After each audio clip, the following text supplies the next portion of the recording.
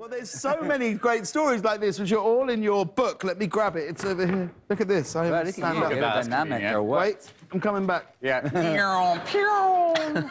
And legs. Now, uh, your book, you gotta get bigger dreams. Yes. I, some amazing photos in here of your life, some great stories. Yes. But the title, "You Got to Get Bigger Dreams," comes from when you had an encounter With the goddess Oprah. with Oprah. Oprah, yeah.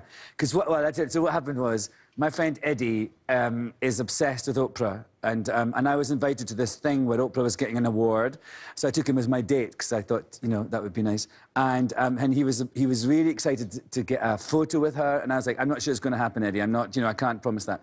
But anyway, we're at this event, and I said there's this big central table um, and we were all at these tables around here. We're sort of like satellites orbiting Oprah. And there was like Steven Spielberg and Jesus and all these people. and, at one point, so I was trying to zoom in to get like a Eddie in the foreground and Oprah way, way, way over there.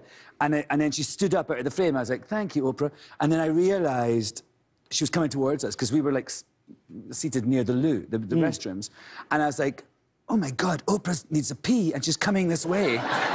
and this could be your chance. And so we, she, she came by and I, and I was un, trying to unfiddle my uh, um, Zoom and I heard Eddie go, Oprah, may I have a photo with you? It would be my dream.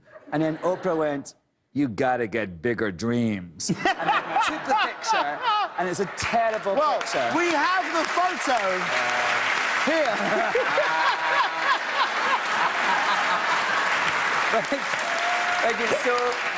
I know it's like a weird picture, but it's completely um, indicative of what that moment was like. Because Oprah is a goddess. she Wait, that's not be... zoomed in. That's a, that's That's actual actually she was The there. Photo. She came You're a by. terrible Thank you. and, um, and and this is Eddie was completely a blur, and Oprah is a goddess, and she could only be half present because she's.